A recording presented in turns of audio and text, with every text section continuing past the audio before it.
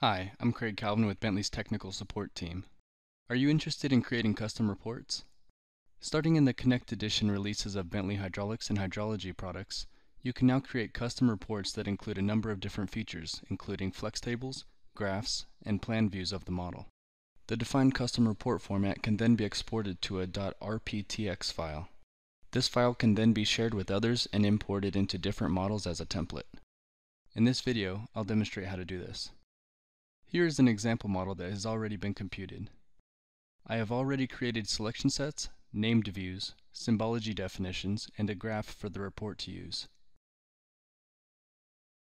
Now I'll open the Custom Reports tool from the Report menu and enter a title for the report. First, I'll add the Hydraulic Model Properties section. Then click the New button and select Scenario. I'll choose the scenario I want the report to be generated from, and the selection set it will report on. Now the different parts of the report can be created. I'll right-click on the scenario, click Add, then select the item I want to add to the report. I'll add a map view of the entire network.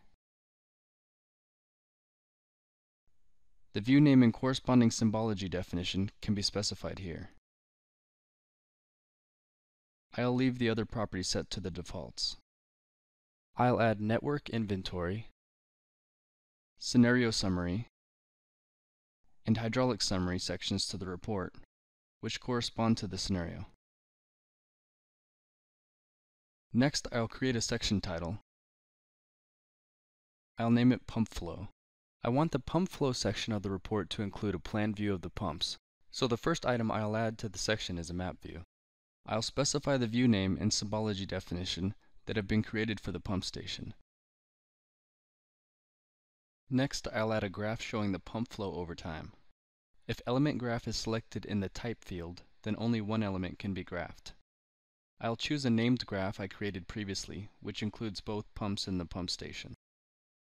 I'll also include a data table to show the values used in the graph. I just need to select the graph name. The final item I want to include in the pump flow section is a flex table showing properties of the pumps. I want all of these items to appear on their own page, so I'll add page breaks to separate them. Now that I have the report set up the way I want it, I'll click Generate Report to open it in a print preview. From the print preview screen, I can adjust the formatting, print, export to another format such as PDF, or email it. By clicking the Export button, the defined custom report format can then be saved to a .rptx file. The .rptx file can then be shared with others to provide a standard report to be used as a template for other models and projects. To demonstrate, I'll open a new model and open the Custom Reports dialog. If I select Import, and open the custom report definition file I just exported. You can see that the custom report dialog is populated with the report formatting that was exported. From this point I can just enter the fields as they apply to the model it was imported into. Information on the custom report tool and much more can be found in the hydraulics and hydrology section of Bentley Communities. Thank you for your time.